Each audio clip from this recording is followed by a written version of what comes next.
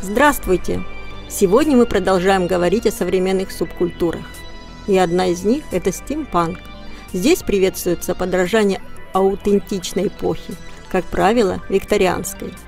Непременные атрибуты стимпанка – карманные часы, защитные очки и шестеренки, которые можно использовать где угодно.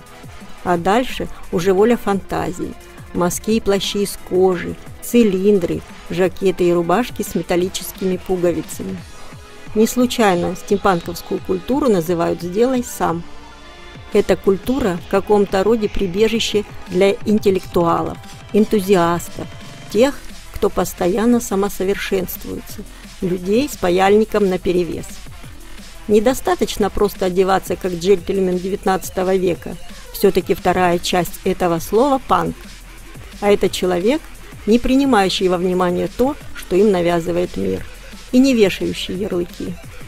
Иными словами, представители этой субкультуры – панк с сознанием этикета. Это романтики, искренне любящие науку, искусство, мечтатели. Они ироничные, немного помешанные, с имиджем безумного профессора. Как и любая субкультура, они борются, бросают вызов остальным – и их главное отличие – тяга к знаниям. Стимпанкеры интересуются механикой, науками, сами создают фантастические приборы и разные конструкции. Возникает тесная связь человека и машины. Мир паровых двигателей завлекателен. Если разобраться в нем, он уже не отпустит.